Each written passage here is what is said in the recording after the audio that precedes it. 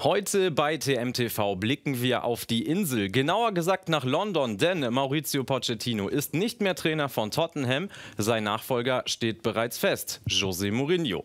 Dann blicken wir in die Gerüchteküche, da gibt es einiges zu den Bayern und auch zu Borussia Dortmund. Und passend zum Abschluss der Länderspielpause haben wir die Top-Torschützen der EM-Quali für euch. Wir freuen uns natürlich über jedes Abo, das ihr uns da lasst und natürlich über jede Menge Likes und auch Kommentare. 14 Punkte aus 12 Spielen, Tabellenplatz 14 und nur drei Unentschieden aus den letzten fünf Partien. Das war den Verantwortlichen zu wenig. Maurizio Pochettino muss seinen Stuhl bei Tottenham Hotspur räumen. Laut Tottenhams Vorstandsvorsitzendem Daniel Levy habe man den Wechsel nur widerwillig vorgenommen, aber die Entscheidung soll im besten Sinne des Clubs gefallen sein. Die Verantwortlichen haben dann gleich mal Nägel mit Köpfen gemacht und heute Morgen einen prominenten Nachfolger präsentiert. Denn nach der Entlassung gestern Abend übernimmt kein geringerer als Jose Mourinho die Trainerstelle bei Tottenham. Zunächst wollen wir aber mal schauen, wie sich Pochettino bei den Spurs geschlagen hat. Seit Mai 2014 war er im Amt, also knapp fünfeinhalb Spielzeiten. Titel gab es keine, auch wenn er mit seiner Mannschaft brutal nah dran war. 2015 die Niederlage im Ligapokal gegen Chelsea, das war seine erste Saison und in der vergangenen Saison das Champions League Finale gegen Liverpool, das ist ja den meisten noch in Erinnerung. Der Punkteschnitt war gar nicht so verkehrt, 1,84 Punkte pro Spiel für Pochettino bei den Tottenham Hotspur. Soweit also die Zahlen zu Pochettino. Wir wollen uns nun seinem Nachfolger Jose Mourinho widmen und blicken doch gleich einmal darauf, wie sich beide Trainer dann allzeit geschlagen haben. Wir haben einen Vergleich vorbereitet, der einmal die beiden Übungsleiter miteinander vergleicht. Man sieht Jose Mourinho schon deutlich länger im Geschäft. 820 Spiele stehen 513 gegenüber. Mourinho bereits tätig, zweimal für Chelsea, mit Porto 2004 die Champions League gewonnen, das Triple Triple mit Inter Mailand und zuletzt Übungsleiter von Manchester United. Punkteschnitt von 2,13 insgesamt. Pochettino hat ein bisschen weniger Erfahrung. Für Espanyol Barcelona, Southampton und Tottenham kommt er auf einen Punkteschnitt von 1,6 Punkten pro Spiel. Nun übernimmt also The Special One das Team der Spurs und Vorstandschef Daniel Levy gilt als großer Bewunderer des Portugiesen, zumindest was das Fachliche angeht. Wir haben jedoch einen interessanten Ansatz gefunden, wo es möglicherweise zu Meinungsverschiedenheiten kommen könnte. Und das sind die Transferausgaben. Denn Levy gilt eher als Sparfuchs im Geschäft, hat nach zwei Jahren ohne Transfer in diesem Sommer einmal wieder zugeschlagen und 114 Millionen Euro ausgegeben, hat zuletzt zwar auch immer wieder betont, dass man äh, trotz der Umschuldung des Stadionkredits nichts Verrücktes auf dem äh, Transfermarkt machen möchte. Pochettino wollte angeblich neue Spieler. Mourinho hingegen ist der Trainer mit den meisten Transferausgaben. Insgesamt hat er Spieler für 1,5 Milliarden Euro verpflichtet. Das ist schon eine wahnsinnige Summe. Sein Rekordtransfer war Paul Pogba, der hat 105 Millionen Euro gekostet. Im Vergleich Tottenhams Ndom Ndombele, das ist deren Rekordtransfer, gerade mal 60 Millionen Euro. Und wenn man sich die Ausgaben von Tottenham anguckt unter Pochettino, das sind gerade mal 438,5 Millionen Euro. Weltweit wäre das Platz 22 und im Vergleich Barca City und Juve in dieser Zeit mehr als eine Milliarde Euro in Transfers investiert. Laut englischen Medien wurde Mourinho aber zugesagt, dass er im Januar und auch im Sommer investieren darf, wenn er es für notwendig hält. Auch weil die Verträge von Vertongen, Alderweireld und Eriksen auslaufen. Also er darf, Sky schreibt aber auch, vielleicht möchte er das gar nicht, denn Mourinho, wenn er den Kader, den jetzigen Kader für stark genug hält, dann muss er vielleicht auch gar nicht investieren. Es wird wohl auf einen Kompromiss hinauslaufen, wie viel man ausgeben möchte und vor allen Dingen auch, ob man die Verträge von Eriksen, Alderweireld und Vertongen verlängert und wie lange Harry Kane überhaupt noch bei Tottenham Tottenham bleibt. Also alles spielt da mit rein. José Mourinho ist zurück in der Premier League. Die Frage an euch, passt das überhaupt mit den Spurs und kriegt ihr die Truppe überhaupt wieder auf Kurs? Eure Meinung ist gefragt. Teilt sie uns doch gerne in den Kommentaren mit. Und wo jetzt äh, José Mourinho vom Markt ist, ist Maurizio Pochettino ja wieder auf dem Markt. Und meiner Meinung nach haben die Bayern ja immer noch ihre Trainerfrage nicht so wirklich geklärt. Aktuell Trainer bei den Bayern Hansi Flick wurde auch bestätigt auf der Jahreshauptversammlung der Bayern, hat eine Jobgarantie bis zum Winter bekommen. Das heißt aber natürlich nicht, dass er auch bis zum Sommer weitermacht, denn Pochettino ist frei. Wäre das vielleicht einer für die Bayern? Fragt man die Profis, die sprechen sich aktuell für Flick aus. Vor allem Bayern-Profi Robert Lewandowski hat seinen Coach in höchsten Tönen gelobt, spricht sich für eine weitere Zusammenarbeit aus. Er hat berichtet, er, also Flick, hat uns taktisch sehr gut eingestellt. Die Spieler haben direkt an ihn und seine Worte geglaubt. Er hat uns neues Leben eingehaucht. Er ist ehrlich und direkt. Das haben die Spieler sofort gemerkt. Und weiter berichtet Lewandowski. Es ist nicht leicht für den Verein. Es gibt nicht viele Trainer auf dem Markt. Und welcher Trainer lässt seine Mannschaft während der Saison im Stich? Es wäre sinnvoll, mit Hansi Flick weiterzumachen. Robert Lewandowski hat also eine klare Meinung. Er würde sehr gerne mit Hansi Flick zusammenarbeiten, weiter zusammenarbeiten. Frage aber an euch: Ist Flick denn in dieser Kategorie als Top-Trainer anzusiedeln oder muss man vielleicht sogar einen Maurizio Pochettino holen, wenn so ein Trainer am Markt verfügt ist. Auch hier seid ihr wieder gefragt. Wir freuen uns auf eure Kommentare. Er rührt und rührt und rührt. Gestern wieder dreimal im letzten EM-Quali-Spiel gegen Nordirland. Serge Gnabry hat mal kurz einen Dreierpack geschnürt und die Gäste von der Insel fast im Alleingang abgeschossen. Und damit hat er gleich mal einen alten DFB-Rekord eingestellt. Denn er erzielte nun 13 Tore in 13 Länderspielen. Das schaffte vor ihm nur ein legendärer Gerd Müller. Und das ist bereits 50 Jahre her. Also mal schauen, ob Gnabry im nächsten Länderspiel diese Serie ausbauen kann kann. Immer ein Lächeln im Gesicht hat auch Gareth Bale, zumindest wenn er das Trikot der walisischen Nationalmannschaft trägt. Und gestern nach dem 2-0-Sieg über Ungarn, damit verbunden auch äh, die Quali zur Euro 2020, dieses wunderbare Feierbild mit der walisischen Fahne und der Aufschrift Wales, Golf, Madrid in that order. Also da scheinen die Prioritäten geklärt bei Gareth Bale. Eine schöne Spitze in Richtung Real Madrid, sein aktueller Arbeitgeber. Denn dort ist er fast nur außen vor, hat in La Liga gerade einmal sechs Partien absolviert. Bei der Nationalmannschaft, da ist er on fire, da blüht er auf, ist unangefochtener Leader seines Teams, Kapitän. Und wenn es weiter so läuft im Club, dann wird er wohl ausgeruht und top vorbereitet mit Wales bei der EM aufdribbeln. Wir machen weiter mit der Gerüchteküche und starten in München, denn laut Sport 1 Informationen soll der deutsche Rekordmeister ein Auge auf Dennis Geiger von der TSG Hoffenheim geworfen haben. Nach dem Auswärtssieg in München bekam er Sonderlob von Ex-Coach Nico Kovac und nicht nur Nico Kovac, sondern auch der Bundestrainer hat sich recht positiv über Geiger geäußert.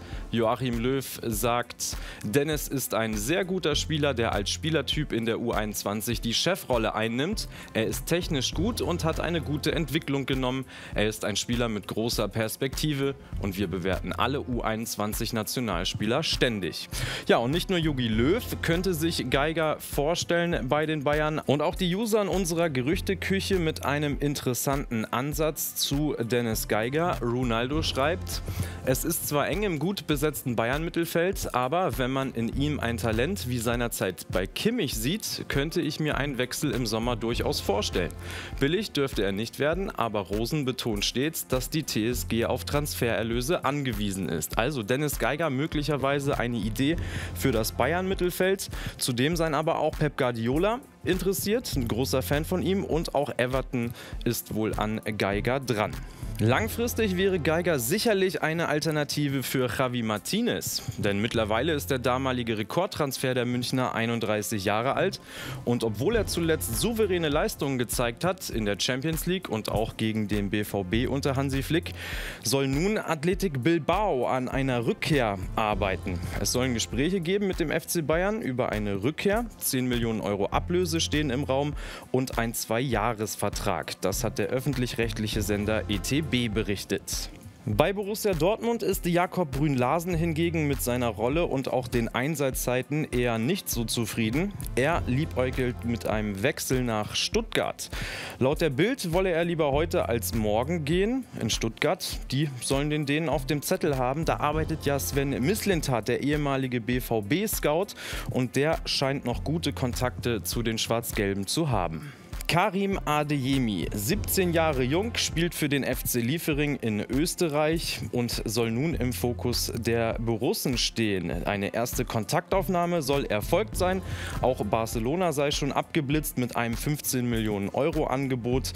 Arsenal und Liverpool streckten ebenso die Fühler aus und jetzt soll auch der BVB sich mit dem Nachwuchstalent beschäftigen. Vor allem, wenn Jaden Sancho den Verein möglicherweise verlässt, dann wäre er vielleicht vielleicht der Nachfolger. Ferran Torres vom FC Valencia stand ebenfalls bei den Borussen auf dem Zettel. Die sollen nun aber Konkurrenz bekommen haben und zwar von Juventus Turin. Das berichtet Corriello dello Sport aus Italien. Juve sei demnach sehr interessiert, den Rechtsaußen von Valencia zu verpflichten. In zwölf Einsätzen in La Liga kam er auf ein Tor und eine Vorlage. Wir bleiben im Pott und gehen von Schwarz-Gelb zu Blau-Weiß, denn Schalke möchte den auslaufenden Vertrag mit Torhüter Alexander Nübel mit aller Macht verlängern und es gab ein richtig sattes Angebot. Das Gehalt verzehnfachen und die Laufzeit bis 2024. Diese Vertragslaufzeit sollen auch die Bayern bieten, allerdings mit einem deutlich niedrigeren Gehalt. Nübel wird ja seit geraumer Zeit als möglicher Nachfolger von Manuel Neuer gehandelt bei den Bayern. Nübels Teamkollege Amin Harid ist in dieser Saison richtig gut drauf. Nach elf Spielen hat er schon fünf Tore und zwei Assists auf dem Konto. Das weckte Begehrlichkeiten und jetzt soll Liverpool ihn genau beobachten. Das hat Correa dello Sport berichtet. Er hat sich rasant entwickelt, denn im Vergleich zur letzten Saison, da hat er 18 Spiele bestritten, nur ein Tor und lediglich zwei Vorlagen geliefert. Philipp Kostic überzeugt im Trikot von Eintracht Frankfurt. In Italien hat man das auch genau beobachtet. Laut Calcio Mercato hat Milans Sportdirektor Zvonimir Boban den Serben seit geraumer Zeit auf dem Zettel. Im Gegenzug könnte Ricardo Rodriguez zur Eintracht gehen. Rodriguez steht in Mailand auf dem Abstellgleis, hat zwar noch einen Vertrag bis 2023, ein Wechsel im Winter ist aber eher unwahrscheinlich. Paul Pogba ist nie so richtig warm geworden mit Manchester United. Auch diese Saison eher enttäuschend. Nur fünfmal stand er in der Premier League auf dem Platz. Tutu Sport berichtet nun, dass Juve weiterhin Pogba nach Italien zurückholen möchte. Sie planen danach Can oder Mandzukic in diesen Deal mit einzubeziehen, denn Pogbas Marktwert liegt aktuell bei 100 Millionen Euro. Das wäre sicherlich keine günstige Angelegenheit. Mario Mandzukic, gerade haben wir über ihn gesprochen. Für den läuft es nämlich noch bescheidener bei Juve. Der hat noch gar kein Pflichtspiel bestritten in dieser Saison in Italien. Maurizio Sarri plant überhaupt nicht mit ihm und jetzt soll er in den Fokus von Inter Miami gelangt sein. Die neue Franchise von David Beckham, das hat AS berichtet. Ein Abgang von Mandzukic gilt als sehr wahrscheinlich. Es gab ja schon Gerüchte um eine Rückkehr in die Bundesliga zu Borussia Dortmund. Dortmund oder eben im Zuge des Pogba-Deals zu Manchester United. Milan Skriniar überzeugt bei Inter Mailand und das schon seit zwei Jahren, denn nach der erfolgreichen letzten Saison überzeugt er auch in diesem Jahr. Zwölf Spiele waren möglich in der Serie A, alle zwölf hat er von Beginn an bestritten. Der Lohn im Mai 2019 eine Vertragsverlängerung und im Zuge dieser Vertragsverlängerung gab es immer wieder Gerüchte um europäische Topclubs, die ihn gerne haben wollten. Barcelona und auch Real Madrid waren da im Gespräch und jetzt hat sich sein Berater Berater Mitat Halis nochmals geäußert und gibt eine klare Richtung vor für seinen Schützling. Im Moment ist Real Madrid näher an einer Einigung mit Inter dran, denn sie wollen und brauchen den Spieler viel eher als Barcelona. Real und Barca buhlen schon seit zwei Jahren um seine Unterschrift. Also, da könnten wohl möglicherweise bald die Kassen klingeln in Mailand. Hakim Ziyech ist einer der Gründe, warum der niederländische Rekordmeister Ajax Amsterdam einsam seine Kreise an der Tabellenspitze zieht. Fünf Tore und acht Vorlagen steuerte der flexible Offensivspieler in der Eredivisie bei in diesem Jahr. Jetzt soll auch Tottenham wie zahlreiche andere Clubs am Marokkaner interessiert sein. Ajax-Geschäftsführer Edwin van der Sar geht davon aus, nachdem man De Ligt und auch De Jong in diesem Jahr abgegeben hat, im kommenden Sommer weitere Spieler Spieler zu verlieren. Dazu zählt dann wohl leider auch Hakim Ziyech. Das Länderspieljahr 2019 ist vorbei. Die deutsche Nationalmannschaft hat sich als Gruppensieger für die EM 2020 qualifiziert, wird höchstwahrscheinlich in München die komplette Vorrunde spielen und passend dazu haben wir die Statistik des Tages für euch, denn das sind die Top 5 Torschützen der EM-Qualifikation. Auf Platz 5 haben wir einen alten Bekannten aus der Bundesliga, ehemals für Schalke aktiv Timu Pukki aus Finnland. England. Zehn Tore in zehn Spielen. Damit hat er maßgeblichen Anteil an der Qualifikation seines Teams. Auf der 4 Alexander Mitrovic, ebenfalls zehn Tore geschossen, allerdings nur acht Spiele benötigt. Der Mann vom FC Fulham aus der zweiten englischen Liga. Er hier ein ganz heißer Kandidat. Eran Sahavi, elf Tore in zehn Spielen für Israel, hat in China gerade 29 Tore geschossen dieses Jahr. Über den Mann braucht man nicht viel erzählen. Cristiano Ronaldo, elf Tore in acht Spielen und nur dieser Herr war besser. Harry Kane, zwölf Tore in acht Partien. Das sind die besten Torschützen der EM-Qualifikation für die Euro 2020. Kein deutscher Spieler dabei, aber das ist vielleicht auch gar nicht so schlecht, wenn die Verantwortung auf mehrere Schultern verteilt wird.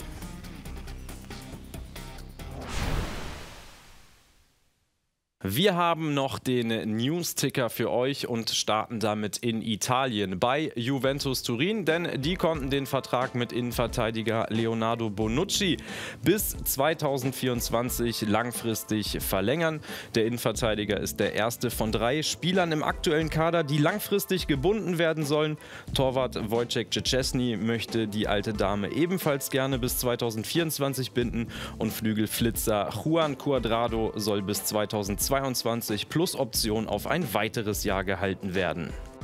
Ebenfalls ein neues Arbeitspapier hatte Bayerns Nachwuchstorwart Christian Früchtel unterschrieben. Der 19-Jährige bleibt bis 2022 im Kader des Rekordmeisters und soll sich mit Einsätzen im Drittligateam weiterhin für die Profis empfehlen. Sportdirektor Hassan Salihamidzic erklärte, er habe sich kontinuierlich weiterentwickelt und das wolle man nun gemeinsam fortsetzen. Ex-Düsseldorf-Profi Jerome Kiesewetter geht in der kommenden Saison für David Beckhams Club Inter Miami auf Torejagd. Der Mittelstürmer, der zuletzt in der USLC für El Paso Locomotive kickte, verstärkt die neu gegründete Franchise aus Florida. Die Eingewöhnung sollte dadurch nicht sonderlich schwierig werden in den Vereinigten Staaten. Und Diego Maradona hat sein Traineramt bei Gymnasia La Plata niedergelegt. Das hat der Verein auf Anfrage der französischen Nachrichtenagentur AFP bestätigt. Der Weltmeister von 1986 hatte die Wiederwahl von Gabriel Pellegrino als Vereinschef zur Bedingung für die Fortsetzung seiner Amtszeit als Trainer gemacht. Als dessen Bewerbung für die Wahl an internen Querelen scheiterte, entschied sich auch Maradona für einen Abgang. Der Argentinier stand nur achtmal an der Seitenlinie von Gymnasia. Das war's für heute bei TMTV. Es war viel los in London bei Tottenham. Es war viel los in der Gerüchteküche. Wir haben über Gareth Bale gesprochen. Und wenn ihr von uns überhaupt nicht genug bekommen könnt, dann habe ich noch ein paar Videos für euch. Hier könnt ihr die Playlist mit unseren Transfermarkt-Highlights sehen. Und hier unten haben wir ein Special zu Jaden Sancho. Wird er der neue Usman Dembele? Viel Spaß dabei.